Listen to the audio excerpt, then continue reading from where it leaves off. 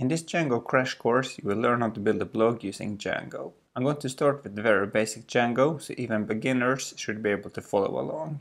I will base the blog on this template so it will look very awesome when it's finished. As you can see here you see the menu and it is based on Bulma. Here you get the search, some subpages and then the posts. The blog will have all the functionality you expect from a blog, like categories, comments, search and similar. But first of all, what is Django? Django is a framework based on Python for building websites and web applications. It was made to make it possible to build stuff very quickly and powerful. But now it's time to start installing the software we need. So open up Visual Studio Code, which is a very good editor I always recommend. I created one folder called Crash Blog, which, which will be the name of this project. And down here I have a terminal. And this is where all the commands will be executed. So first of all, I'm going to create a new virtual environment. If you don't have this installed on your computer, you can install it by saying pip install virtual env and hit enter. A virtual environment is like an isolated place on your computer designed for your project. So when you create a new virtual environment and activate it, every time you install something new, it will just be installed for that environment. That makes it easy to maintain packages and make it easy to deploy to a server later and similar. So this is something I always recommend using. You don't have to do it, but it's very nice to do it. You can also use Docker and similar. Great. So now that we have virtual environment installed, we can create a new one by saying virtual env and then the name crash blog underscore env. And then if we're in ls now, you'll see that I have a new folder here called crash blog env. And this contains a bin folder with many scripts and similar. And now that you have created it, you can activate it by saying source crash blog env bin slash activate. And I can see here we got a new text here in front of my username, crashblogenv. That means that it's activated. So if I now run pip, it will install packages just for this environment. And if I wanted to deactivate this, I just write deactivate. And now the text here is gone. But let's activate it again so we can install Django. Great. And then to install Django here, we just pip install Django. This will install the newest stable version that Django has, which currently is 3.2.4. Don't worry if yours is slightly newer or something similar like that, just make sure that it's 3.2 or newer. Great, so now we actually have Django installed here. So then we can create a new project by saying django-admin start project crash blog and hit enter. So now you can see up here that we got one more folder called crash blog. And in here we have a file called manage.py. This is a file for running administrative tasks like creating super users for the admin interface, initializing the database, updating the database, and similar. You don't have to think too much about the contents here because you're not going to change this anyway. It's just a file that you should know what actually do. And inside the crash blog folder, we got one more crash blog folder, which is kind of like the main folder for the project.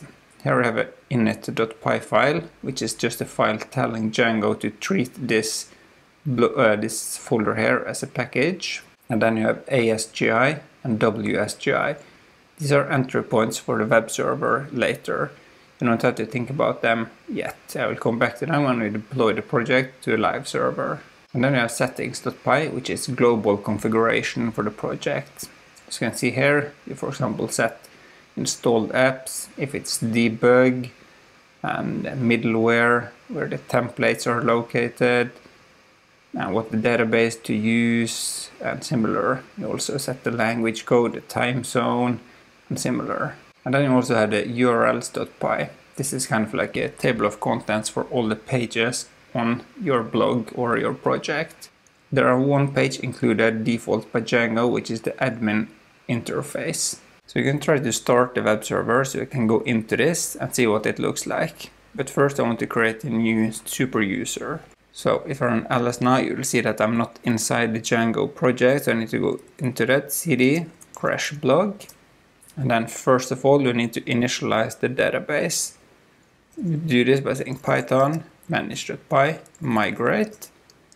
As you can see here now, a little script was run and we got one more file here called db.sqlite and this is SQLite 3 database which you will use for when we are do just doing this in development. Hope it's not too overwhelming with all the information about the different files. We will come back to all of these many times so it will, so it will be much easier to understand what to actually do later. But now that we have a database, we can create a super user by saying python manage.py create super user create a username and then a password. Great, super user created successfully. So then we can run the development server by saying python manage.py run server. This will start a local development server with this address. This is not the server to use in production, but it's very handy to have when you just do development on our computer. Then we can go to a browser and open up a new tab and paste this address there. And here you can see that the installation worked successfully. Perfect. So now Django is running here. Nice. And then to log into the admin interface, just go to slash admin. Now we can log in with the user we just created. So you can see here now we can uh, visit the site which just will take us back here. We can change the password for the current user and we can see the other users that could be here. Later when we start with the blog, we will get for example posts here, comments, categories and similar. So we actually have an interface we can work with the content, very simple here. And all this comes built in with Django. Today we're going to create a new Django app and show a front page. I'm also going to explain a little bit how Django works and what views we're going to use and similar. But first I want to create a core app for the front page and the about page. So let's go to the editor or the command line where you have that running and stop the web server. First, to create the Django app, you say python manage.py start app and then the name of the app, which in our case will be core. Great, so now we got a new folder here. A Django app is a collection of views, models, tests and similar. And for example, this core app will contain the front page, about page and similar. We will also have one app for posts where we describe to Django what type of information we want to store about the posts, comments and similar. It will make more sense when we start adding data to these files. Our Django project is called CrashBlog and a Django project usually consists of many Django apps. Great, great. But even though we have created the app, Django actually doesn't know that this exists. So we need to go into settings.py and find a list here called installed apps. Django comes with a few built-ins. For example, the Django admin area is this one. And then at the end here we add core.apps.core config. Core is the name of the app. Apps is the file inside there called apps.py and core config is the name of the class here. So this will now be namespace or core is the namespace, but this is how you configure it. So now Django knows that this app exists. And then inside this core folder, we have a migrations folder which contains information about the database. You have the init.py, which is making this folder a package. The admin.py where you can register database models with the admin interface, apps.py which is configuration for this specific app, models.py is where you create models, for example post which contains a title, uh, an intro and a body and similar. Tests.py is for running tests on this app and views.py is for example the front page view where we tell Django where to look for the templates and similar. Let's create a base template so I can show you how this actually works. Inside the core folder, create a new folder called templates and Django will automatically look for a folder called templates inside all of the apps we have. And then in here, create one more folder called core, and then in there called base.html. So then here I added doctype HTML, HTML, head, the title, crash blog, and then the body, h1 hello, and save. And then to show the front page, we go to views.py to create a view here. Let me say def front page and then we pass in something called a request. This is information about the URL you're on, the browser, and much more information. And then to show the base.html file, we say return, render, request, we pass in the request, and then render is a function or shortcut from Django to render HTML and show it on the screen. Now we pass in core slash base.html, which is the template we just created. And this core is the name of the folder inside the templates folder. Great. So now we can import this view into crashblog slash urls.py from core dot views import front page. Now we append it to the list of URL pattern passing path.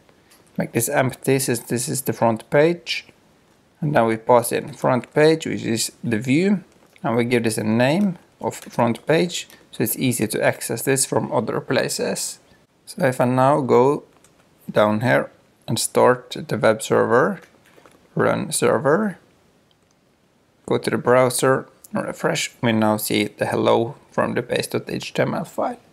Perfect. So then I want to go back to views.py and just explain that this is now a function-based view. But Django also comes in something called a class-based view. Class-based views can be very useful because they give a lot of functionality with a little amount of code. But function-based views is my favorite. Class-based views can be a little bit hard to understand at first because so much are happening without adding code for it. So it's not easy to understand why things happen. So it's easier to use the function-based views. Great, so now just add, I want to add some more information to the front page. But it's not smart to keep using this page base.html for the front page. I want to create a separate template for the front page. Front page.html. And I want this to extend this template. So instead of adding this in all of the templates, I want to make sure that information I add in the front page.html comes here in the body. And to do that, we need to add something called a block content and then end block to stop it. And then content is a name, you can call it whatever you want, but content makes sense. And then to extend this template, we go to front page.html and here we say extends core slash base.html and then to pass information into here, we use the same block content here as well. H1 front page. And we can close it and block. And then I just need to go into views.py and rename base.html here to front page and save. So if I now refresh, you will see the front page and if I inspect this you will see that here we still get HTML head and similar. And this is because we are extending that template. And we can also get one more block title up here. Block title. And block. And keep no space here. So now I can copy this block here. Put it at the top here and say home and pipe and space. So now you use two block to put information there. So now we have a custom title up here as well. Home pipe crash blog. So just to make sure that you understand how this works, you can create one more page called about. Def about request return render request core slash about.html. So this will be an about page for the blog. So then in the core folder here, create one more file called about.html and then extends core slash base.html. Oops. And then the block title about pipe space and block. This could be a hyphen if you wanted to do that similar, but I like the, how this looks in the browser. And then block content, h1 about and block save. And then I just need to import this to the URLs file. So append about at the end there. And then above the front page we say path about slash pass in the name of the view and name is about. And the way Python or Django reads this is from the top and down. So it will start at the top and then now Django knows that the, mm, the path we are on should be, for example, slash about. And then it takes this name, starts at the top and just reads down until it finds something it matches on here. And then it will find the about function view and render it, which gets the template and then show it to the user here. Great. So now we have an about page as well. So the way everything here works now is that when we go to an address, the web server down here will call manage.py which will find that here we're going to use the settings file which goes to here. And then the settings file are going to use this root URL configuration crashblog.urls it goes in here. And then it goes down into the URL patterns finds the about path there call this view. And then it goes into views.py where you find this function which calls the render function which finds this template which is this one and then it's being shown here to the user. Great. So now I just want to customize the base.html a little bit and I want to get some information from this template. So if I just go to the page source, I'm going to copy a few things here. First, I can take these three meta tags, paste them at the top of the head, like that. This is just char set for foreign keys and similar. This line will make it uh, mobile friendly or make it possible to have it mobile friendly and this is just some meta tags for Internet Explorer and Edge. And then I want to copy this, which is the URL for Bulma remove that slash, I don't like that.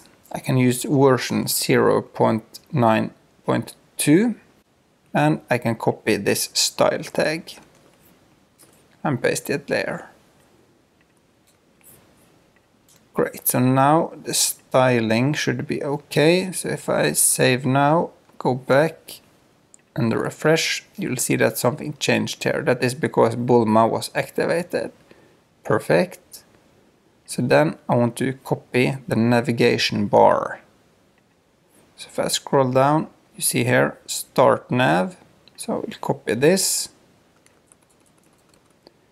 and then go back to the editor and above this block content I paste this.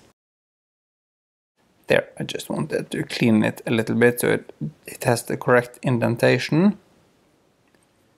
And I do not have this logo here. So I want to just remove this and say strong crash blog instead.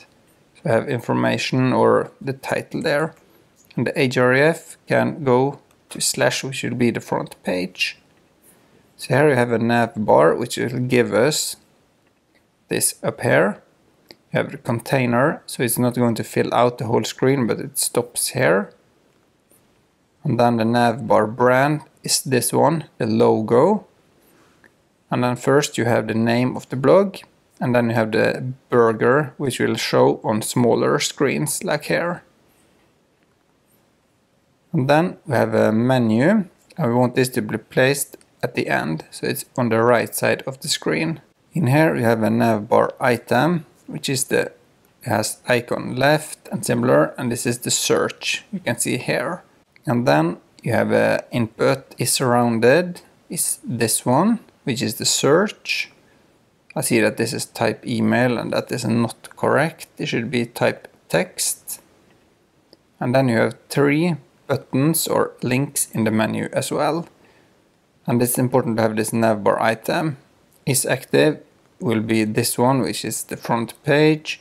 Is size 5 is the text size. And then you set it to be semi-bold.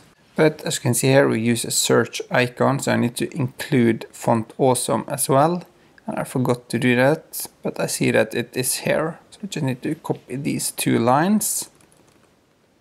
Go back, scroll up, and then below the Bulma script, you can paste it there, like that. So now we can save this, go back to the crash blog, refresh, and now we also have the menu here. Perfect. And then the next step now is to add some space above and below this here. So go back to the code, into base.html, find this block content. To give this space we add a section, class, oops, section, class, section. And then we just close it below this, like that. So save, refresh, and now we have some space there. Perfect and we can also add a div class container just to keep it from going too wide. Like that. So now it follows the same width as up here. Perfect.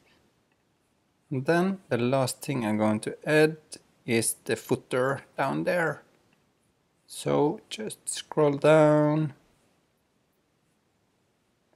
find the footer. So it's footer class footer. This will go below the section. And the div class content has text centered. And then a P. And then just say copyright C 2021 crash blog and save. If you now go back, refresh, we get the gray footer here with the text centered. Perfect. So now we have the design almost finished, at least for the menu and here. Still need to add function or data here, but that will come in the next part. In this part we're going to create a new Django app for the blog and we're going to show posts here on the front page. We're also going to make it possible to add posts here in the back end. So first we can create the new Django app by going to the command line, stop the web server and say python manage.py start app and then the name which will be blog. Great. And then we need to tell Django that this app exists so we need to go into the installed apps and then here at the bottom is a blog.apps.blog config. Oops, config. And this if you don't remember from the last time, blog is the name of the app, apps is this file, and then blog config is this, which points to this. So you can use blog here, for example, just like we do core, you can use that name here, so Django know where to find this. Great, so now we have the Django app, and now we're going to go into models.py in this folder to create our first Django model. The Django model describes to the database what data we want to store. We can begin by creating a new class, class post, and then here we pass in models.model, so Django knows that we want to use this. And then here we can say title equals models.char field, max length 255. So this is a field for storing the title of the post. We set we set this to a char field, which is what we use to store simple text. And we set the max length to 255. And then we want something called a slug equals models.slug field. This doesn't need a max length. A slug is an internet address for the title. So for example, here you can see the Bulma templates. That here you can see uh, instead of saying getting started, you would see getting dash started. So it's an address for the URL. And then I want a field called intro models.text field. This is for storing longer texts than this. And the intro is what I want to show on the blog, this little text here. So it's not the full body of the of the blog post. And then I want one field for body models.text field. And this is the field I want to show when you go into the detail page of blog. And I want one field for keeping track of when the blog was or the post was published. So created at equals models.date time field. And instead of filling out this uh, manually in the admin interface, we can just say auto now add equals true. So when this is added in the database, this will be automatically filled in with now. So then we don't have to think more about that. So we can save this now and then go down to the command line and update the database. And to do that, we first say python manage.py make migrations. Oops, okay, I have a typo in the settings file. This was supposed to be config. So then I can run this again, make migrations. And now it says here that it created this file where you want to create a model called post. And if I go into this file, which you have here, migrations, then here you will see what's going to happen in the database. So it's going to create a new table called post with the ID field, a title field, slug, intro, body and similar. But nothing has happened in the database yet because to do that we need to run python manage.py migrate and this will actually execute the files in this folder. So I'm hit enter now. Now this has been applied and the database has been updated. So then the next step now is to just run the server again. Before I continue, I just want to say thanks to my Patreons. If you too want to support me, you will find a link to my Patreon in the description below. But if I go to the admin interface and update, nothing happens here yet, because you need to register the model with Django in case you don't want to show it in the admin interface. So if you open up blog slash admin.py, we can open uh, we can import the model here from dot models import post now just say admin dot site dot register post and save so if I now refresh here you will see here we got this blog appearing here which is the Django app and posts we don't have any here so we can try to create a few this is the first post. And then we create the slug for this. This is the first post.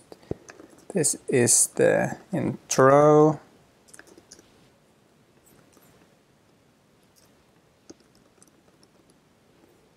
And this is the body for the first post. Like that. So then I can save and add one more second post, second post. Later in the series we're going to make this field automatically filled out generated by this, but that comes later. The second intro, the second body, and save. So now I have two posts here in the database. Perfect. But if you go to the front page, it still doesn't show here. So we need to fix that. So we can go back to Visual Studio Code. And then we find the core slash views.py. And if you wonder if you don't put this in the blog app, it's just that we have the front page in the core app. So I want to do keep continue doing that here. But the detail page of a post will be inside of the blog page. Great. So now I want to get all of the apps from the backend. No, all of the blog posts, of course. So first I need to import it, just like we did here in the admin.py. From blog.models import post. And here I need to say blog.models because we are not in the same folder as the models file. But this admin file is in the same folder as the models.py file, so you can just say .models. But here in the other app, we need to point to the app first and then the models file. And then in here, I just say posts equals post.objects.all. So this will get all the posts from the database. And to make this available in the front end, I just copy this and then I create a dictionary here and save. So now we can use this variable inside the front page or index.html file there. And we can use them here. So now I want to make it possible to show them here. And I want the posts to look like this one. So I need to go in here to the code and copy a little bit of this. So first I copy the section and the hero body and the container. Then I go into the code here, just remove this title.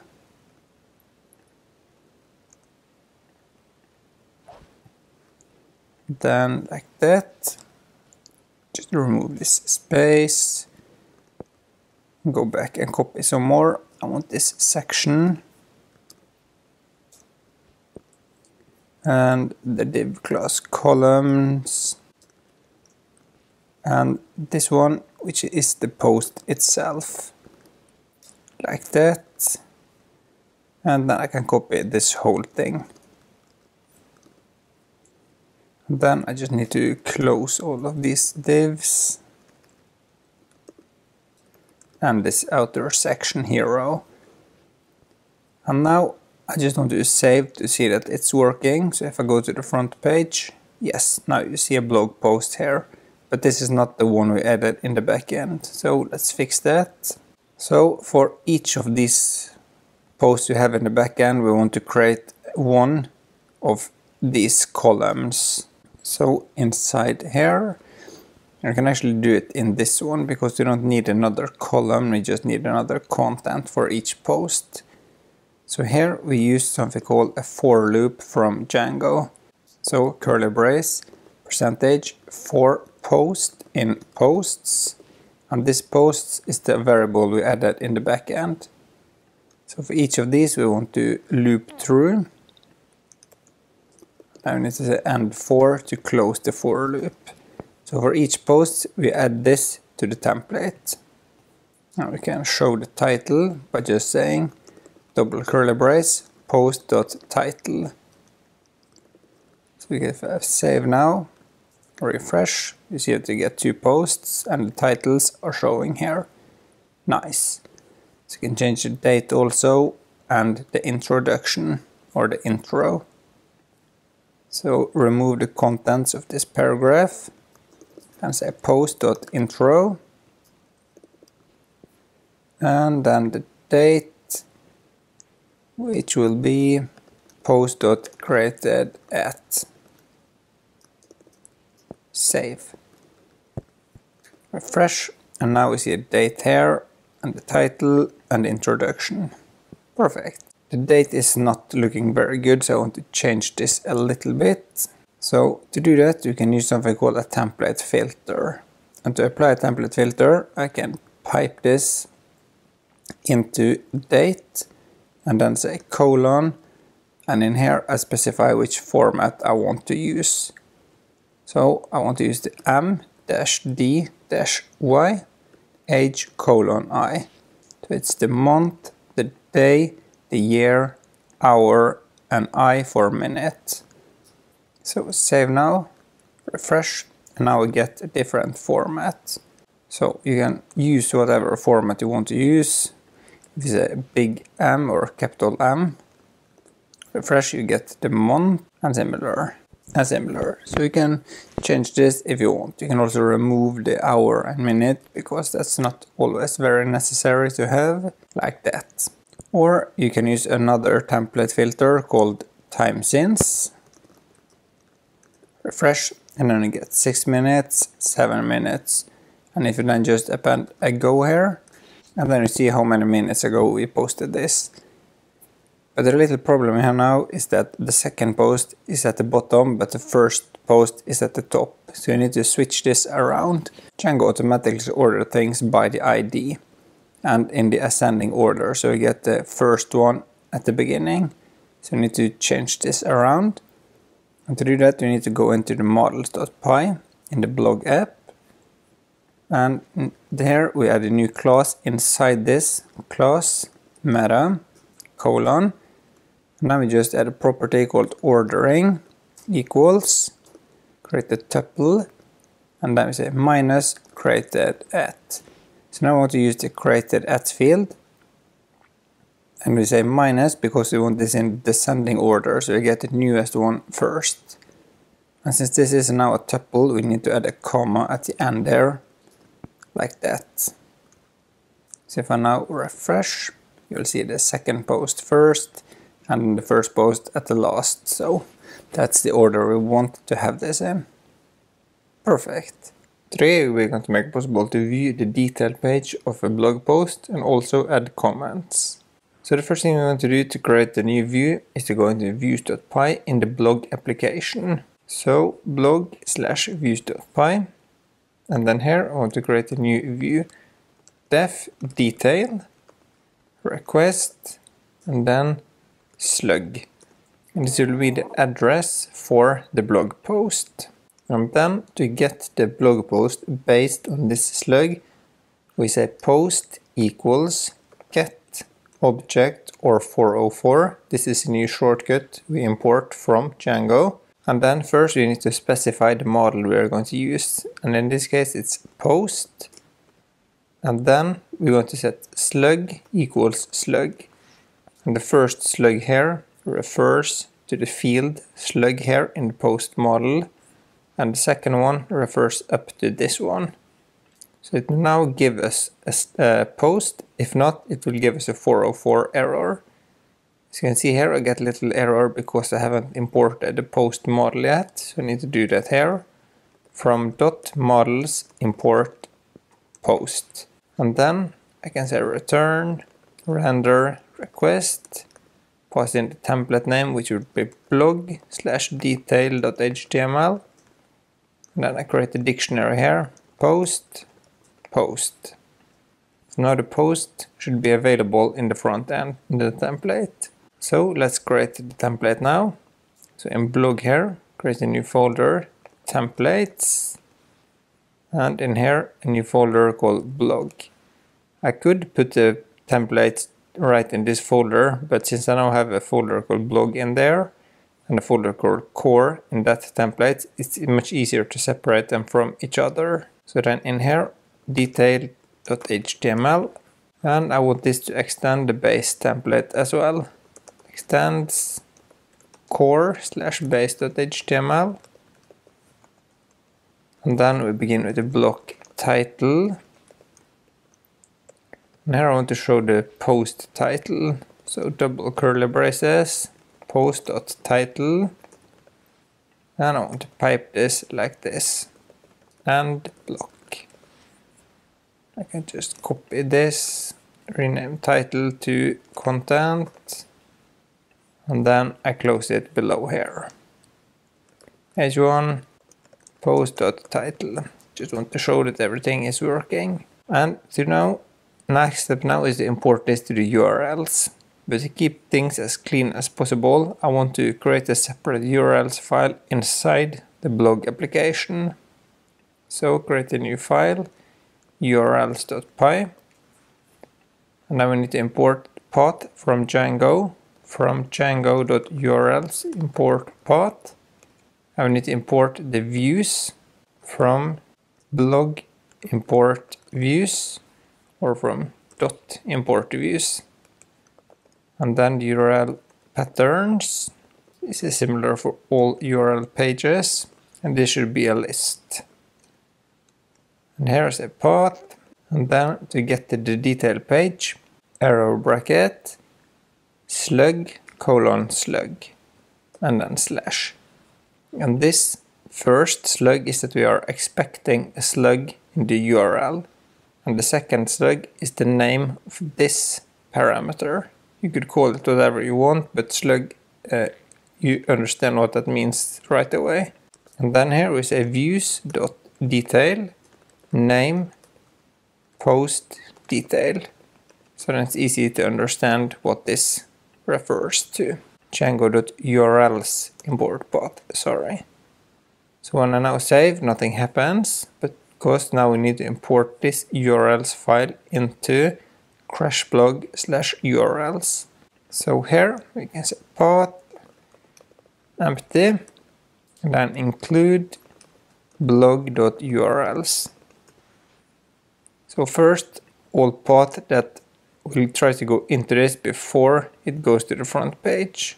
So first it tries to go to admin, then about, then it will try all URLs in this one before it goes to the front page. You can see here I get the new error now because include is not defined. So you need to import this from django.urls.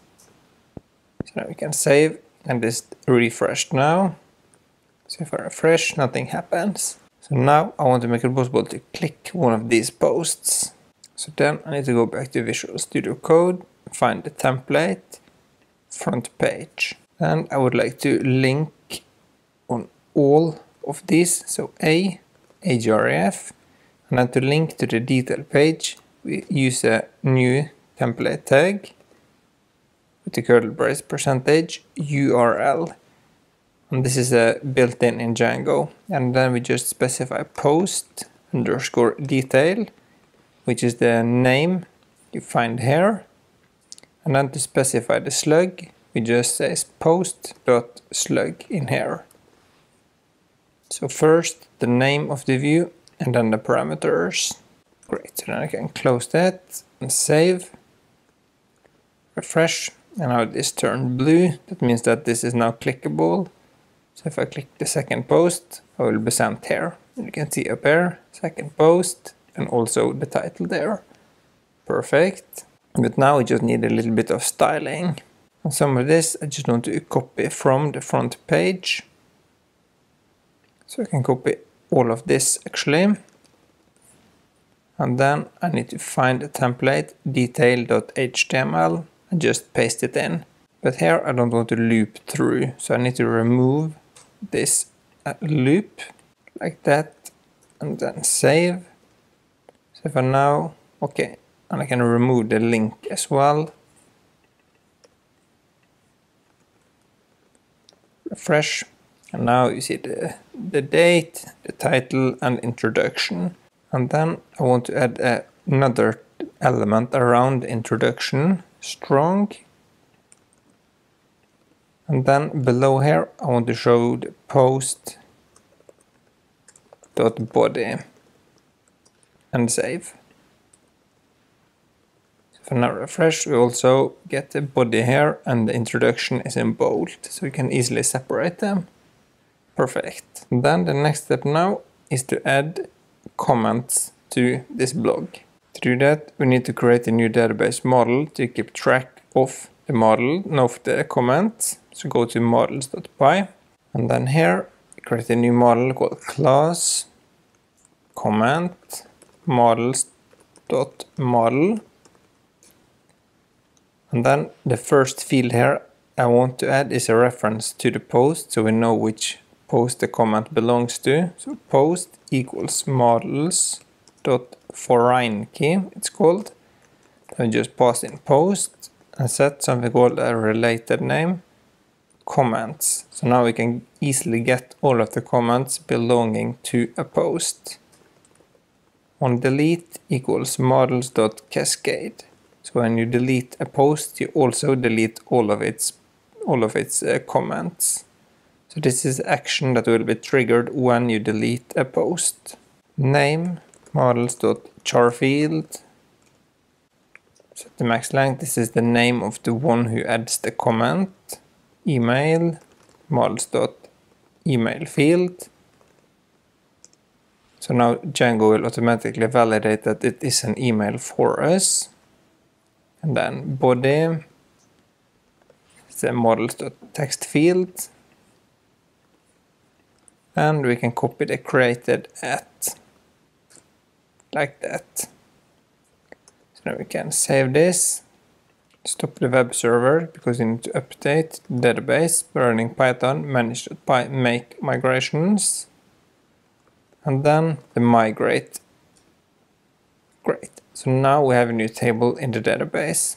And we can run the server again.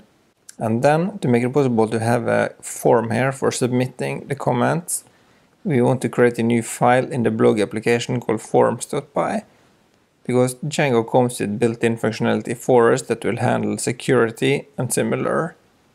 So create a new file, forms.py. Again, you can call this what you want, but forms.py makes sense because this is where you generate the forms. Let me say from Django import forms and then from dot .models import comment because this is the model we want to use inside the form. Then we can create a class for the form, comment form. Let me say forms.model form. You have a, a, couple of different types of forms, but I like the model form because then you get automatically a form based on the model you specify. So add a class meta for configuration. Model equals comment, capital C of course, and then the fields we want. So create a tuple, and the fields we want here is name, email, and body. Name, email, and body and then save because post this needs to be specified manually and created that will be automatically filled out. So now we have this comment form. We can go to views.py in the blog application and we can import it up here from dot forms import comment form. And then in here we can say form equals comment form. We need to make this available in the front end like that and save. So then we can show it here. So if we go below here, HR, so we have a separate line, H2 class subtitle is for comments and then we say form method is post action. No, we don't need to specify the action because it can just go to the page we are on. And then we can say form.as_p. This will generate the form for us and gives us the, uh, the HTML we need. And then we need a button for submitting the form. Div class field, div class control, and then button class button is success we get a nice green button submit comment and save. So then we can refresh. Then we see that we got a form here which doesn't look good. We will fix that later. And then we have the button there. But if you submit now we get multiple errors. First we need to fill out. Because you can see here CSRF verification failed. And this is built-in security from Django. You can see here, we get the solution actually in the template. We miss this template tag, CSRF token. So if you go back to the code, you can paste it at the top of the form. And then you go back and into the post again. And if I now inspect here, you can see what we got from Django there.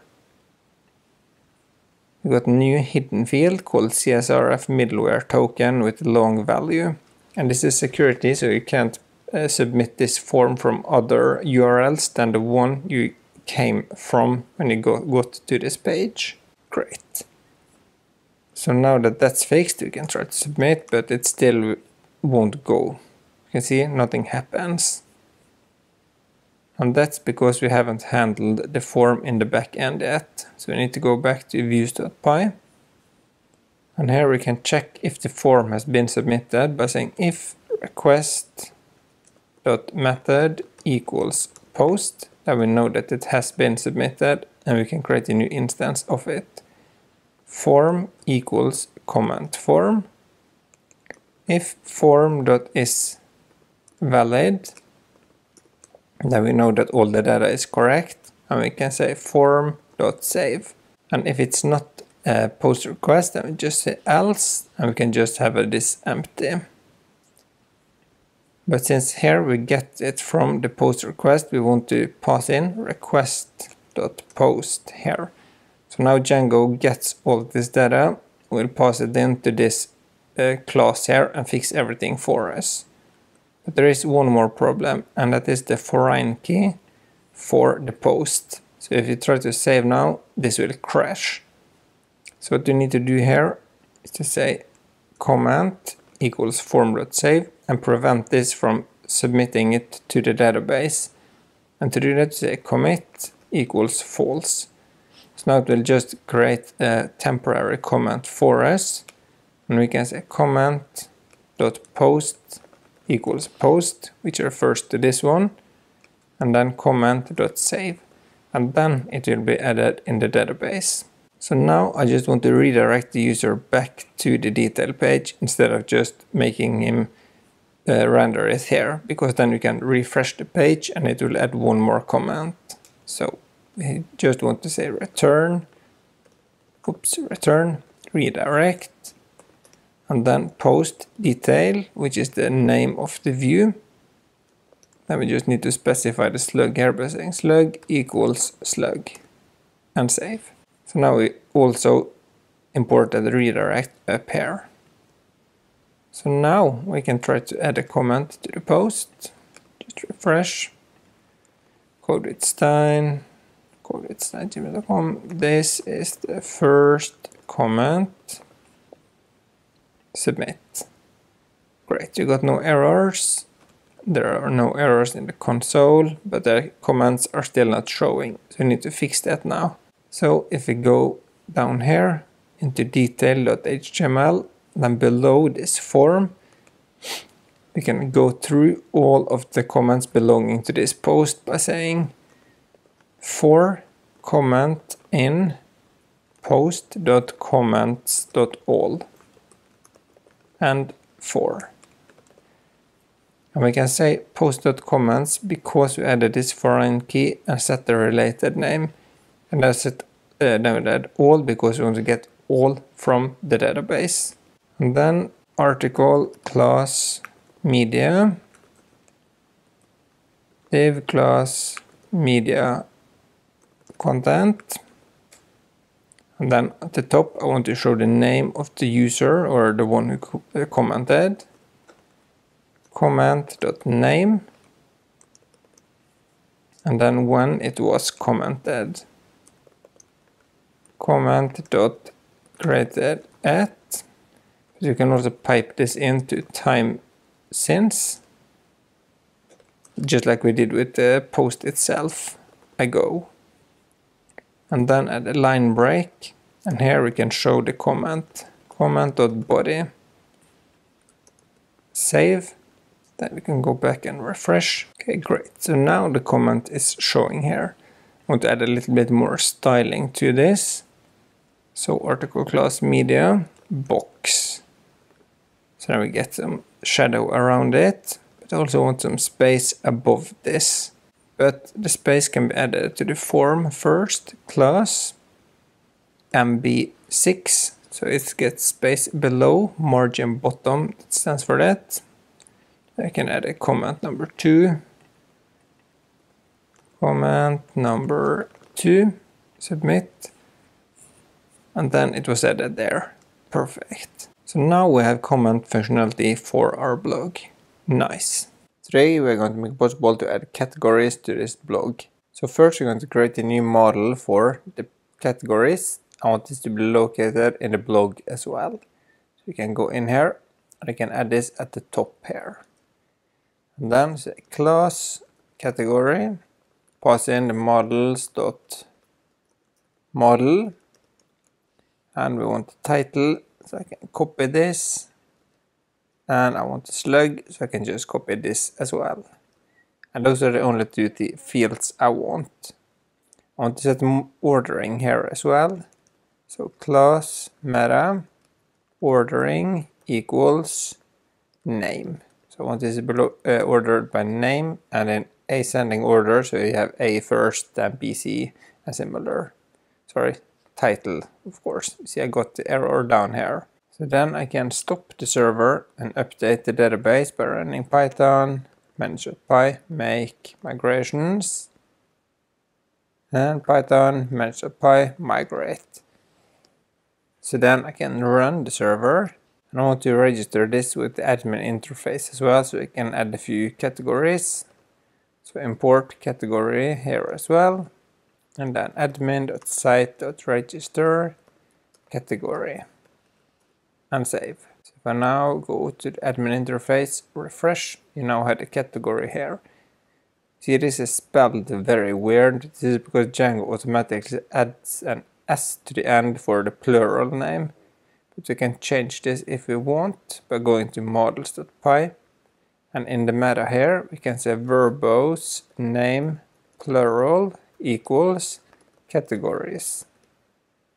Save, refresh, and that looks a little bit better. So then we can add one category and call this, for example, Django, and then slug Django. Save and add another view, view, and save. So now we have two categories on our blog. Perfect. Next important thing we need to do is to now have a connection between the post and the category. So the same way we add a foreign key here, I want the foreign key here to point up to the category. So then I can say category equals models dot foreign key category name posts and on delete models dot cascade and save. So I need to update the database again, make migrations.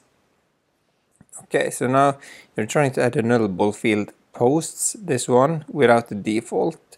So this field can't be empty, so we need to set a default value. And I can provide a one of default value for now, for the two posts that's already in the database. So if I click one, then I need to fill a value here. I know that I added two categories here, one with ID1 and one with ID2.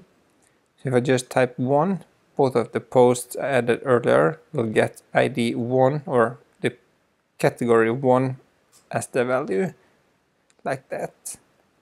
And then I run the migrate.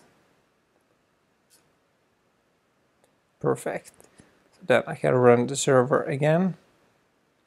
So if I now go back here into posts and the first one you will see that this is already connected now to a category perfect. And if you see this category object this is because we don't have a string representation of this class. We can add that by going below the class meta and say def underscore underscore str underscore underscore pass in self and just a return self dot title. And now go and refresh, you'll see the title of the category here instead of just the object. And the same goes with here for the posts. You can just copy this, paste it below there and save. Fresh, and now I see the title of the post instead, so that's much easier to understand. So then the next step is to now go into a post here and then below the title here, I want to show which, or I can show it below the body, which category we are on. So if I go into detail, and then below the body, here I can say P small, I want this to be small, and then I just say post.category. Refresh, that did not work. Okay, I did a little mistake in the models.py. This was supposed to be related name posts, just like down here. Sorry. So if I now stop the server and just update this again, so just do the same here, one, and then one, and then migrate. Sorry about that. So if I now run the server again, you'll see that when I now refresh, you'll see the Django here, which is the category. Perfect. Can say category like this. Nice. So next step now is make it possible to click this so I can see the detail page of a category with all the posts belonging to that certain category. Before I continue, I just want to say thanks to my Patreons. To do that we can begin with the view. So go into views.py in the blog application and then def category request and then slug. I want the slug field here as well. So I need to import the category up here.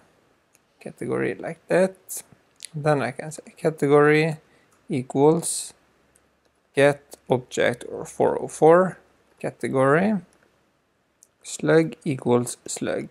And then I say return render request pass in the template blog slash category.html then add the dictionary here with the category so we can use it in the front end and save.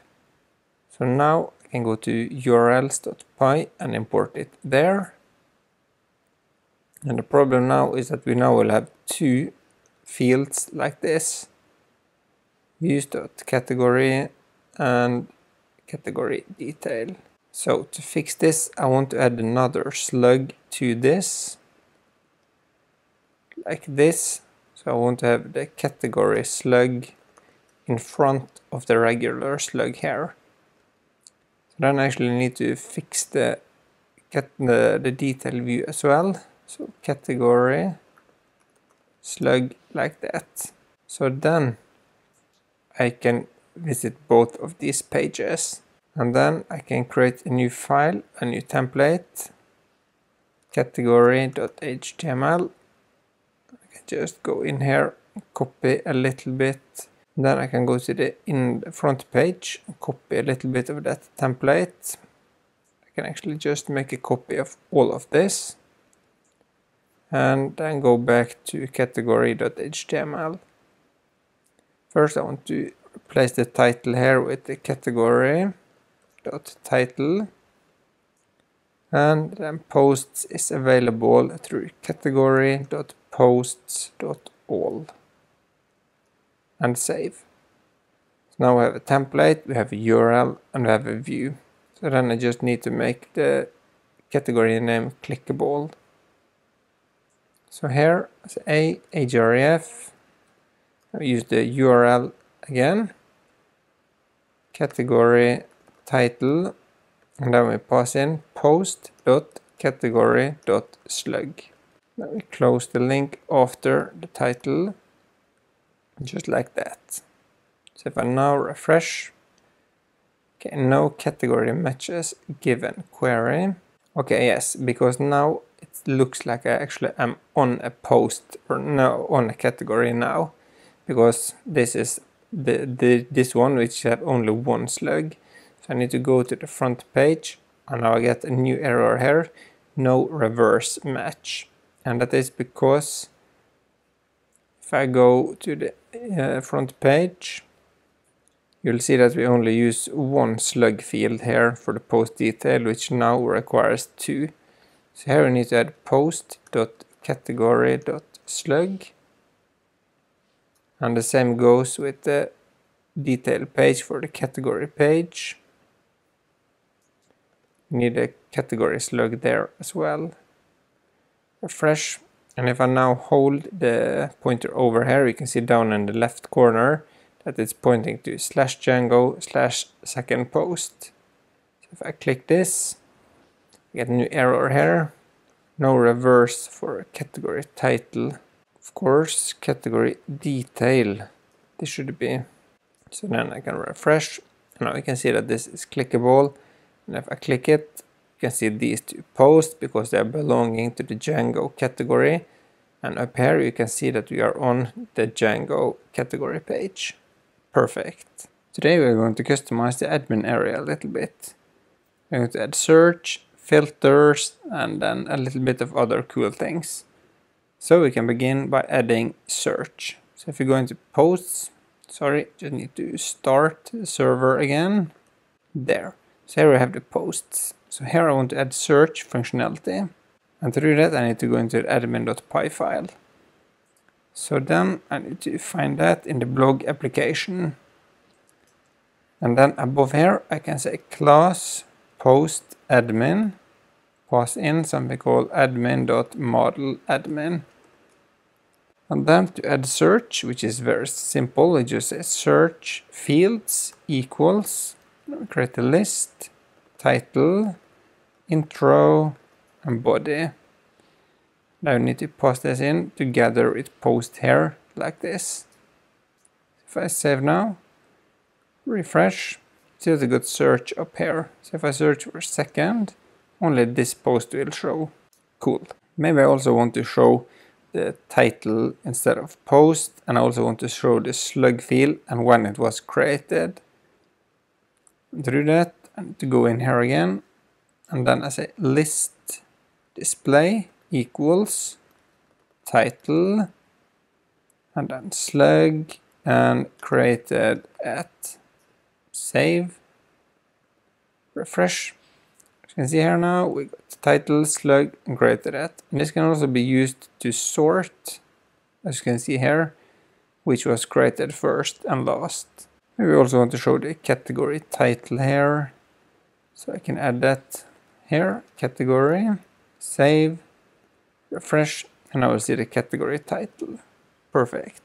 And maybe I also want to make it possible to filter this based on which category it is. So I can say list filter equals category, oops, category, and also we can list uh, the filter on created at. So save, refresh, and now I can filter based on the category. Clear all filters. I can see which was created today, none, past seven days, both of these. Great. So now I added a lot of cool functionality for the posts here. You can do the same thing for the categories. To do that we just say class category admin admin.modeladmin. The search field we want here is just the title and list display should also just have the title like that. So if you now save, ref refresh, it looks a little, sorry, forgot to edit here, category admin, refresh. And now see the title, you can also sort this by alphabetically and I can search, great. So we're still missing the comments here, so we need to register these as well. Comments, admin.site.register comment sorry so probably one just like that. So now I have comments here as well. Great. These do not have any string representations so I need to fix that just like we did with the self.title so we can say def str self self oops return self.name but you should also have the post here so you know which this belongs to. Self.name save, refresh, and now we see who created this comment. But you should also have some more information here about uh, the post it belong to and similar. So you need to do that here. So class comment admin admin.modeladmin and then list display equals name and the post and created at sorry I forgot to add this one more time. Like that. Comma. Comment admin. Refresh. Now see the name. Which post this belong to and when it was created. Great. But it would also be nice to go into a post for example this and have the comments listed below here and we can actually do that too. So if we above the post admin, here we can say class comment comment item inline pass in admin dot tabular inline. And then here is a model equals comment and raw id fields equals post. And then we want to use this inside the post admin by just saying inlines equals comment inline item inline. And if I now refresh, you'll see the comments listed out below here. And if I wanted to now, I could add new comments here as well, or I can just see the comments that are already connected to this post. Cool. Then the next step I want to do now is make it possible to generate these slug fields automatically. To do that, you need to change the, the these fields a little bit more. So in the, for example, the category admin, you can begin with that. We say something called pre-populated fields, slug. This should be pre-populated with the title. So we can save this now and go and test it. So if we go to blog, and then we create a new category. Here we can say Python. And now this was automatically filled out. And if I write anything more here, you'll see that this fills it in automatically save. Great. And this is something we want for the post as well. So save this now, go back here, try to create a new post in Python. This is a Python post, the intro to the Python post, and this is the body. Now we can save now this was added like this. Perfect. Nice. So if I now go to the front page, we have three posts here. Cool. There are also a ton of other cool things you can do with this functionality. You can add your own actions here if you wanted to. You can create functions for generating texts here or different fields you want and similar. There are also the other things you can do with the filters and so many other cool things. You can also customize these templates a little bit if you wanted to do that. But that's not what this tutorial is supposed to be about. That was just adding the basic functionality. Today we're going to add statuses for the post so we can have drafts and similar. And then we're going to fix the search functionality. And I want to remove one of these and replace the other with the about page. So we can begin with that one. So if I open up base.html and find the menu, then I can remove one of these. And then this one can be replaced with about. And then add the href tag here. And then just URL about. And then this one can go to the front page. You can just add a slash like that. Save, refresh, click the about page and the home page. Perfect. So then the next step is to add statuses to this. So if I then find the blog slash models.py file and then the post model. First I want to add choices up here. So you have the active one, active, and then draft. And if it is a draft, I don't want it to show on the front page. Now we set up a tuple so we can choose between these two. Choices, status, let's say active, and then a label which will show in the admin interface. Draft. So this is the value that will be uh, stored in the database and this is what you will see in the admin interface. And this is just so we can easily access it from other places and similar. And below the created at we can say status equals models.char field because I want to store this, which is a char or a string at least. I say max length can be 10 choices equals choices status and default equals active. So now this will be a select list in the admin interface and the default one for all articles will be active and this is a constant which points up to this one. Now we can save. And if you then stop the server and run the make migration script, Great, there I want to see add field to status, add field status to post, and then we run the migrate script. And run server. So nothing should have happened here in the front end, but if you go back here and find, for example, the Python post, then I have now possibility to select between active and draft. If I save it like this now, maybe also want to show this here, the status, so it's easy to have access to it. So we go to admin.py and then in the post here, list display before the category, or no, we can have it at the end. Status. I also want this to be a filter. Status. Now we can refresh and now we can choose between these here. Perfect. And also see the status here. Nice. So you see that this is the draft. So this I do not want to show on the front page anymore. Then we need to go and find the views.py in the core app here. And instead of nothing post.object. So it's all onto the post.object.filter status equals post.active so now I can use this constant by just referring to the model and say dot active. If I refresh now, you won't see the post here anymore. Nice. So let's do this other places as well.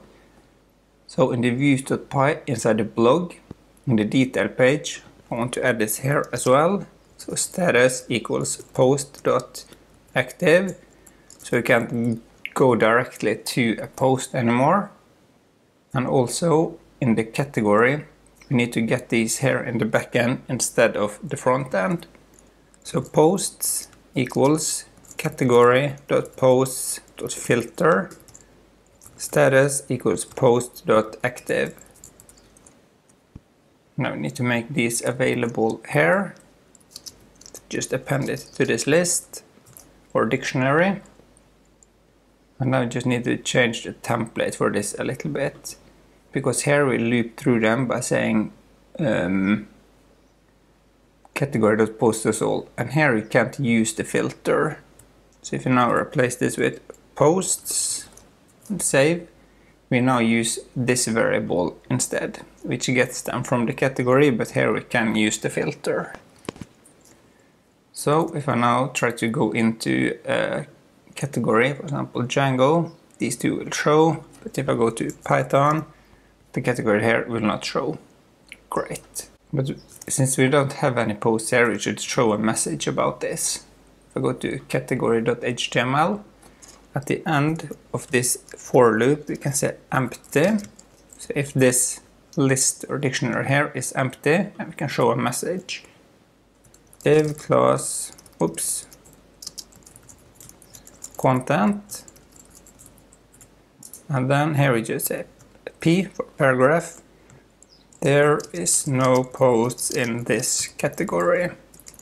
And then save, refresh, and now we see this message. Nice.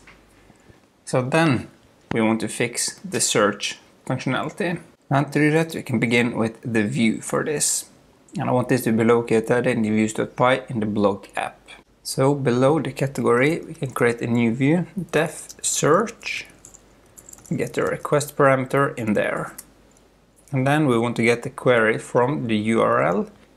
So query, or the word you search for, equals request.get.get. And then pass in query and default this to empty. So this is what you use to get uh, the parameters from the URL. And then below here we can say posts equals post.objects.get filter title i contains oops i contains equals query so if the title contains the query these will be listed in here. And we say return render request blog slash search dot search.html now we can pass in the posts here. Like that. We can also pass in the query so we know what the user searched for, like that. So then we want a template for this. And I think I can copy the category template since much of this will be the same. So just copy all of this. I create a new file, search.html, and paste it in there. Now we can replace the title in the browser with search, and then above this content where we loop through the posts, we can add the title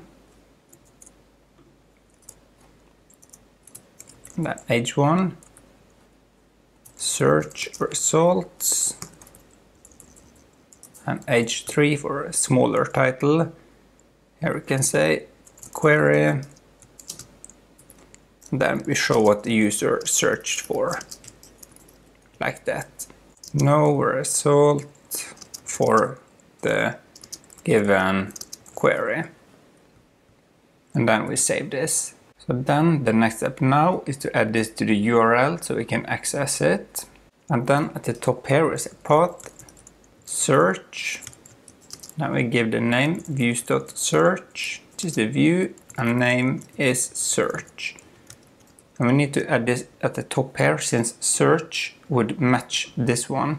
So if you added this path here to the bottom, it would automatically just go in here since it would match on a slug and then we give you a 404 error because the category with name search doesn't exist. So it needs to be on the top like this. Then we can save this. And if I now try to go to slash search, we see search results, query is empty, and then the three posts because everything is matches on the empty. If I appear say question mark query equals this, it will only show two of the posts. Great. And if I say Python, it will only return one. Nice. And if I search for something like this, it will say no results for the given query. Nice. But what if you want to check both the title, the intro and the body? Then we need to use a function from Django. So at the top here, above this we say from django.db.models import q. And this allows us to search in multiple fields. So then down here where we search for this, is here we say q. Like this, so now it searches for this, but so also forgot to mention that i contains, it will now check that this is insensitive for uh, capital and lowercase letters. So it just says that if this matches anything inside the title, if it's capital or lowercase, it doesn't matter. But if you also here want to search in the introduction, just add a pipe here for or and q, intro, i contains equals query, and then the same with the body, or q, body, i contains equals query and save. So then I can refresh. Oops, forgot to add the close the parentheses there. See, I also got the error down here and it was added to the end instead. Like that. So now the error is gone here. If I refresh, this is better. Just want to see what's inside one of these. can search for body and then add it at the end here. You can see here it returns all three because all of the body has something with body inside but not the title. So now we know that this is working. So now I just want to activate this field here. So if I go back to base.html and then up here where we have the form, can add it around this one. Form method is get, not post. We want to use get here, so it's added to the URL. And then action, URL search. So now this will automatically po uh, point to the search page. And then I just wrap all of this inside this form tag, save, refresh, and now I can try to use this. Python Okay, that did not work because this input field doesn't have a name. So if I just add name query like that. Refresh. And now try to search for Python. You'll see query Python and then it returns this one. Okay, and if I click this I get the 404 error and that is because this should actually not be showing here because of its status which is draft. So I need to change the views.py a little bit because we can't say just filter like this. First we can add a filter here status equals post.active and save. So now if I refresh, this is also gone. And if I just search for empty, it will just return these two because both of these are active. Nice. Today we're going to add images to the posts. We're also going to add a sitemap to the whole project and also a robots.txt file. We can begin with the images. I'm going to go to the front page and show images here on top of the blog posts. So if I then go to the editor and find the models.py in the blog file, then I want to add one more field here. You can add it at the bottom here. Image equals models.image field. Upload to. So we need to select where this should be uploaded to, then let's just say uploads slash blank equals true and null equals true because not all posts needs to have an image. We need to make it possible to have blank and null. And then I can go to the settings.py file because I need to configure where this uploads to should be located. So if I open up settings.py and scroll to the bottom, we already have something called static URL, but we can add something called media URL equals slash media. And this is the URL in the browser, but we also need to specify where the files should be put on the server. To do that, we say media root equals base dir slash media, like that. So this will create a folder called media in the base of the project and inside there the files from the models.py will be put inside a uploads folder. So let's try to stop the server and make and run the migrations scripts. Make migrations, no changes detected. Okay, maybe I forgot to save the file, yes. So let's run it again. Okay, it says that I need to install Pillow in order to continue. So if I just copy this and run pip pip install pillow. This is a library for handling images in Python. Naturally download it and install it. Great. So then we can try to run the make migrations again and then the migrate script. Perfect. So now we have images for the blog. So we can run the server again. So if I now go to Chrome, I can edit a post and add the image. I can add it to the first post. So now we have an image field here and I can choose. Great, so I can just select one of these random images and the bottom and save. If I go in again, you'll see that here is now currently an image. I can clear it and I can choose to select a different file if I want to. If I go in here, it should be available, but it's not because we need to configure the URLs for this as well. Because Python or Django isn't good at handling images, but for locally we can just add a little bit of configuration here and it will show. So first I want to import something from Django so we can access the settings file. So by using this now we can access variables in the settings.py file. And I want to import something called static from Django conf urls.static. This helps us show static files on this demo server or this server here.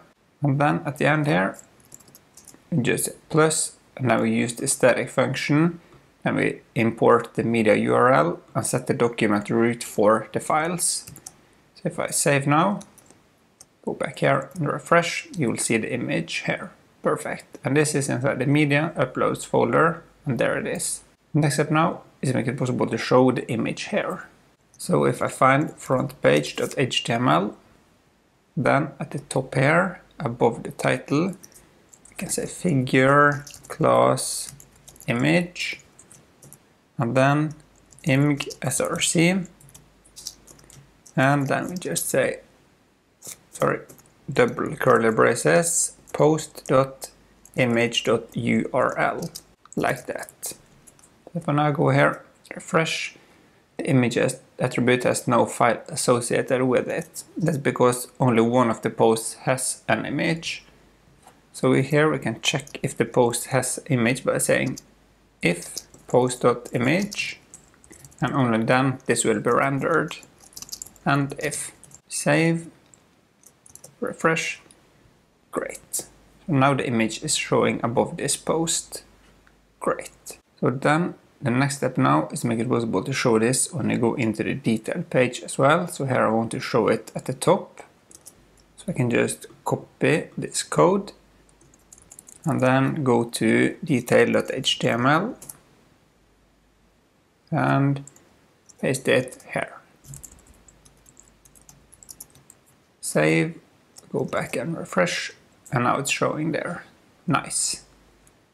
And if I wanted to, I could actually put it outside these columns, like this. So it will be much bigger than the text below. So it looks a little bit better actually that way. Just need to fix the code, like that. And if there are image, also want to add extra class here, um, MB6. So we get margin bottom 6, which gives us a space below the image. Great. So now we have fixed images for our blog. The next step is now sitemaps. Sitemaps makes it possible to go to the address and then sitemap.xml.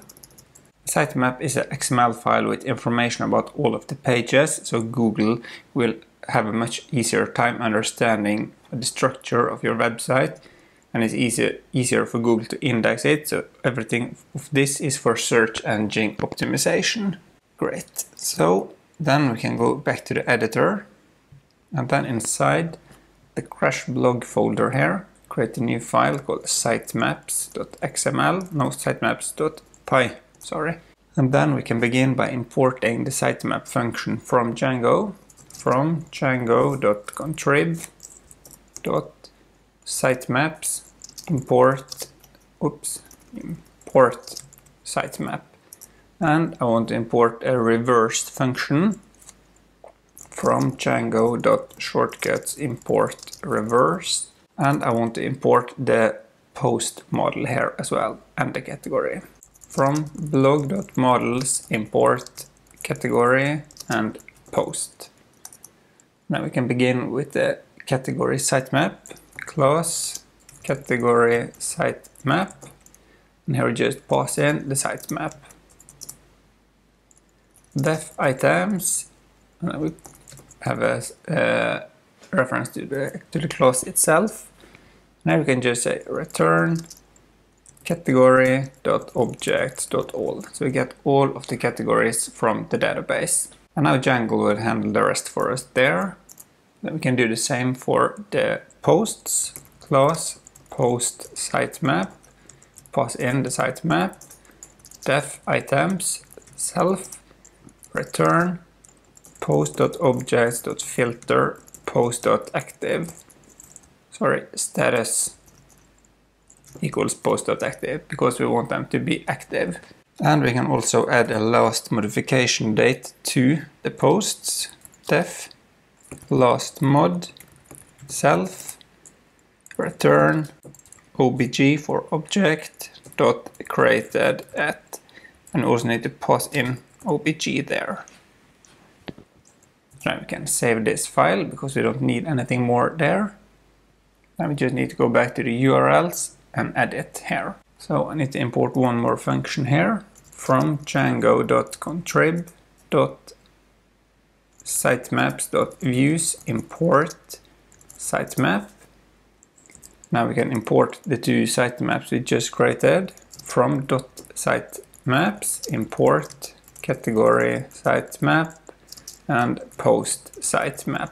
Then I just want to configure this a little bit by saying sitemaps. Just create a dictionary, category, and here we just pass in category sitemap, and the same with the post, post sitemap.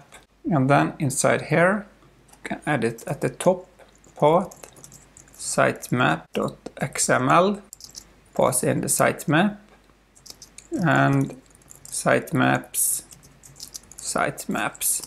So add a reference to this and then add a comma at the end there. If I save now, I think there is an error, no module name site blog.sitemaps. And that is because I added all of this to the URLs file inside the blog application instead of this one. So sorry about that. And the same goes with the static files. This should also be in the other so let me just take all of these four here, remove them from this file, go to crashblog slash urls.py, paste them at the top here, like that. Then go back to the other URLs file and copy this file, this line, paste it here and then we go back again because I want this line as well sorry about this mess. Paste it here. And then go back again to get this line which should be on the top here. And then it's just this left. Then we can save that file go back to the other and paste it at the end there.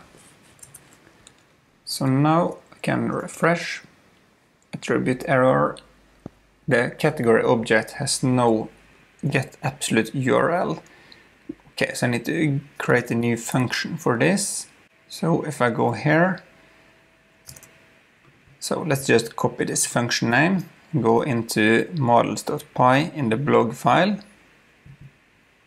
and in the category here need to create a new function def get absolute URL self and then here I just need to return the path to this site.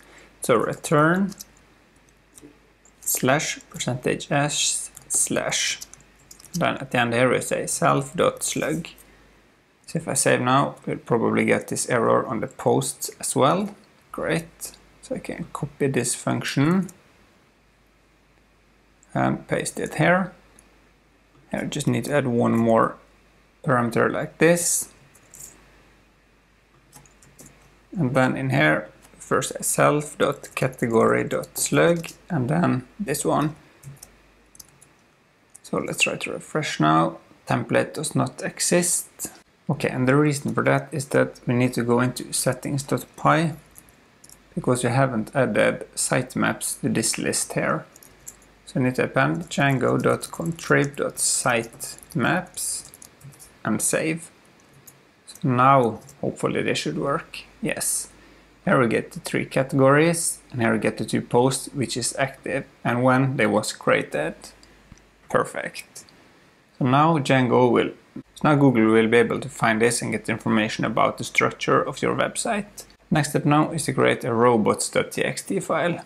This is so you can make a, the bots not to go to, for example, slash admin, or if you have any other private addresses or blog posts you don't want them to find and similar. Through this, I just want to create a view for this. So if you go into core slash views.py, then I want to create a view here.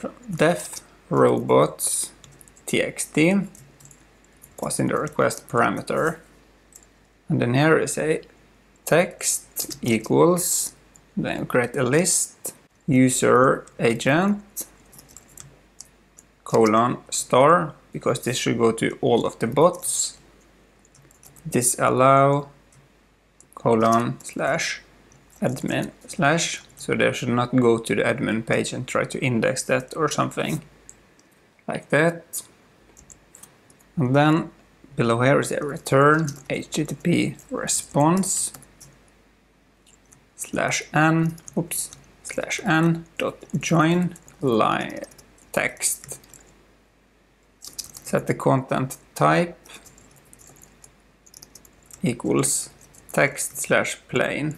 Great. So this function just takes this list and create a string of it. So you need to import this from django.http import http response. Great. So now we can copy this and go to the URLs file in the crash blog and import the view here.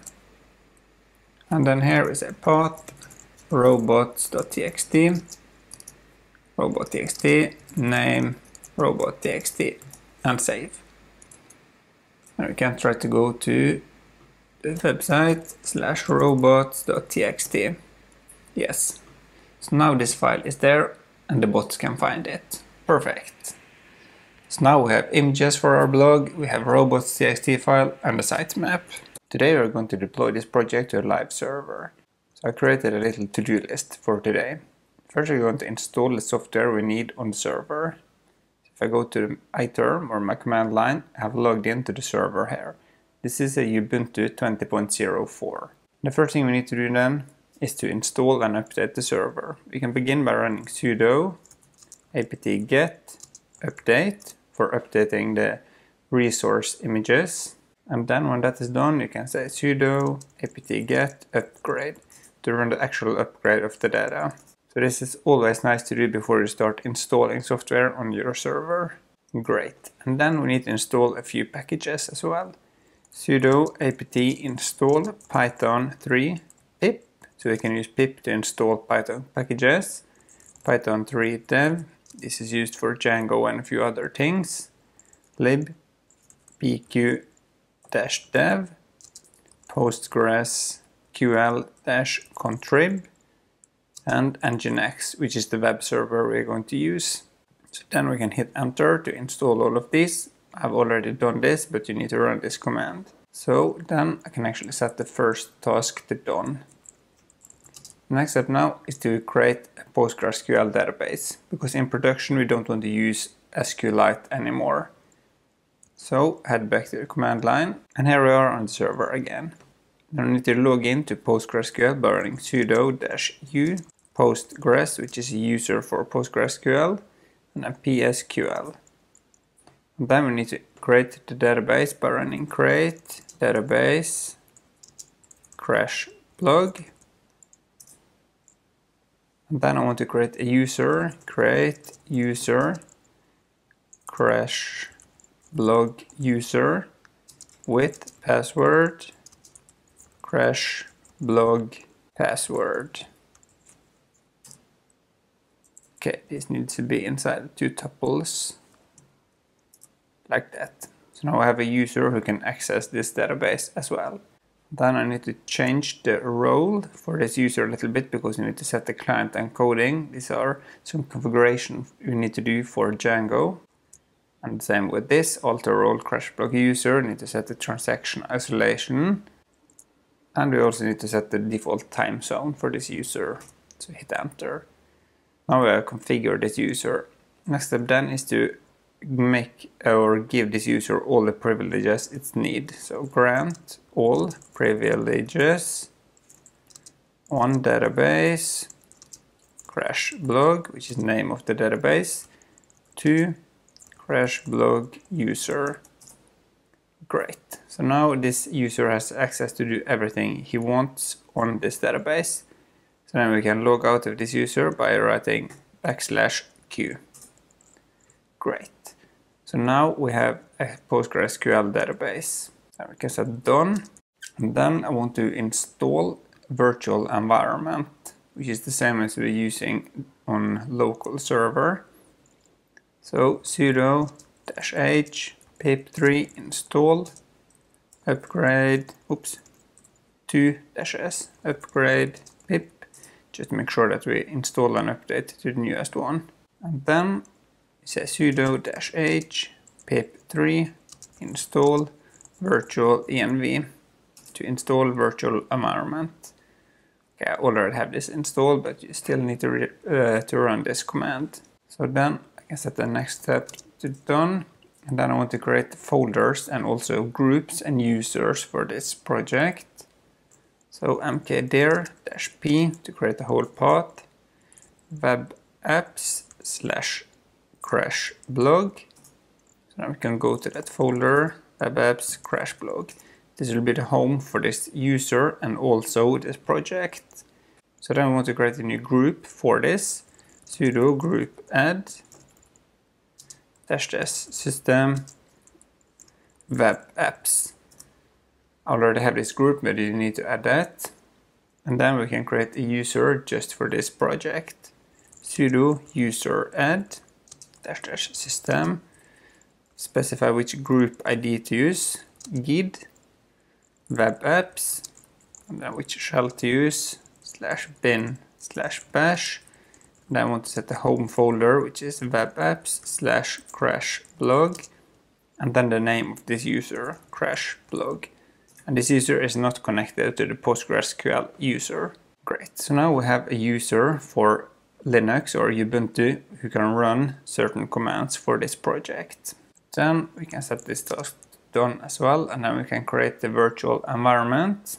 Virtual oops virtual env environment 382 which is the python version i'm running on this ubuntu.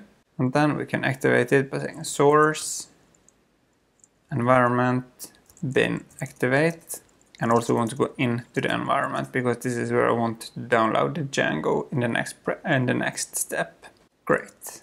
So then I can actually set this to done and then I want to get the Django project from git. If I go to Chrome and into git and then I have it here, I can just copy this address, go back to the command line and say git clone and paste the address. Now I have a new folder here, crash blog with the whole project in it. Perfect. So then I want to install the same packages we have locally here on the environment here on the server. And to do that, we first go here and say pip freeze, hit enter. And this will give me a list of the installed packages. As you can see, it's Django, Pillow, and then a few dependencies that Django has.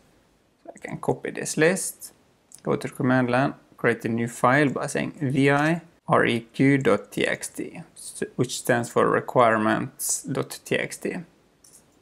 Then I paste it there by typing I and then Command V. And then I just want to save and quit this by hitting escape, colon, W, Q, and then enter. And then I can install those, uh, that list by saying pip install dash r to read the file req.txt.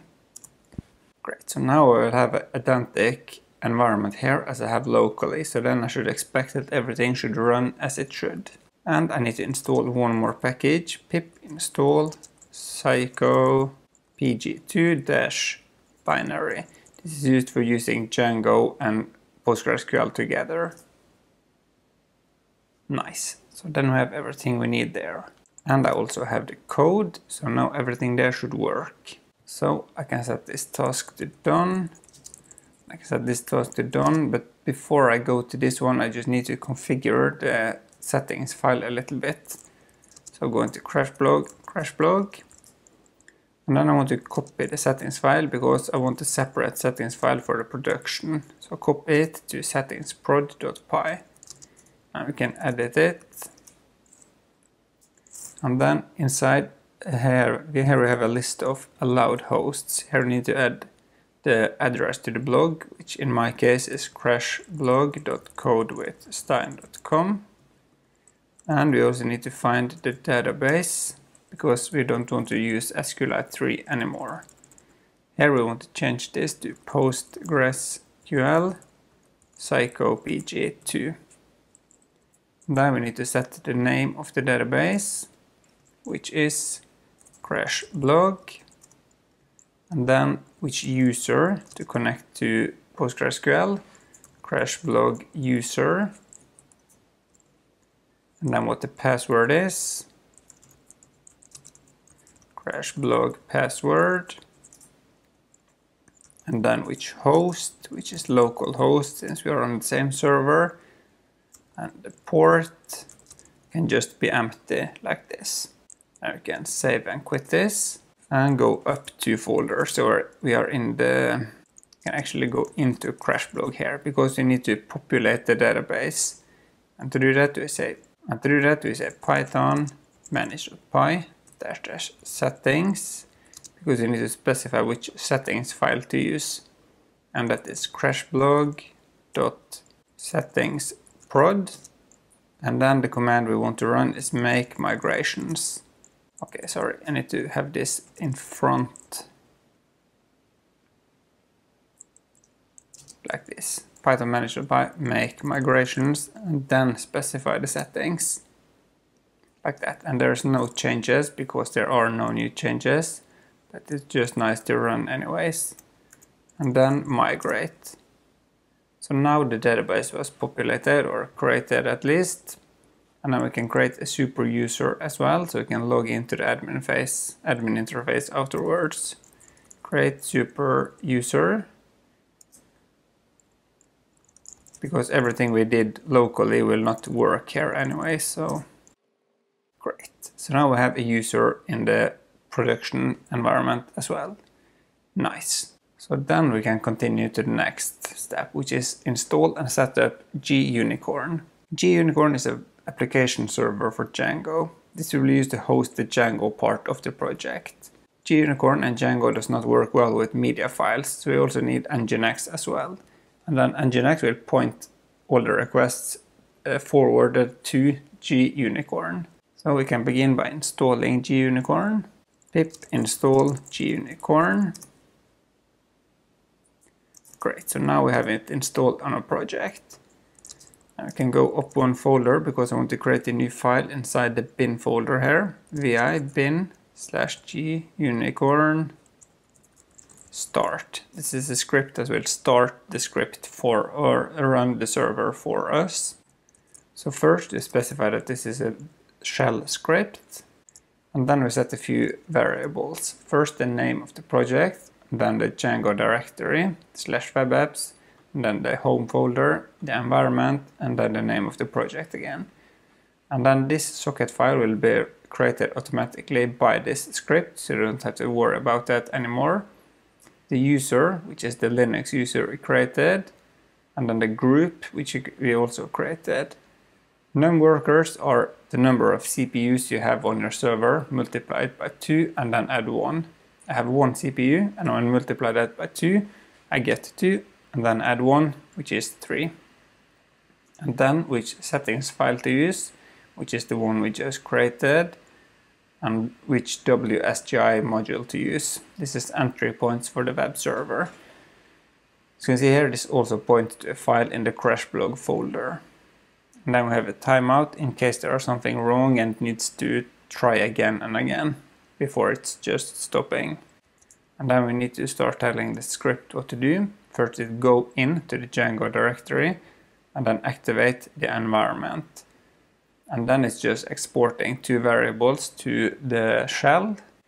And when that is done, it's trying to run this uh, or set this variable and then it checks if the directory exists and if it doesn't exist it will create it and here we are talking about this one and then it executes uh, another gunicorn script inside the bin folder uses the WSGI module specify the name and also the other things from up here we can save and quit this and then we need to make this executable by saying sudo chmod plus x bin gunicorn start.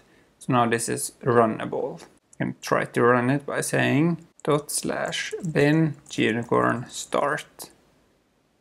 Okay, there are no errors, so it seems to be working for now. Perfect. I can just stop it. And then we can go back to here, set this task to done. Next step then is to install and set up something called supervisor. Supervisor helps us start this gunicorn script and it will also check that if it's not running it will automatically start trying to run it and similar. So to install this say apt install supervisor. Okay, I already have the newest version installed, but you need to run that command. And we go into cd, etc, supervisor, conf. This is where the configuration file for this project will be created. We say vi crashblog.conf. And the content of this file should be like this. You have the name of the program, which is crashblog, and then the path to the gunicorn script. And then which user to run this and where to log. And then it says that it should redirect error logs to this file and then we set some environment variables for the language. So then I need to create this folder to make sure that it's there and get there like that.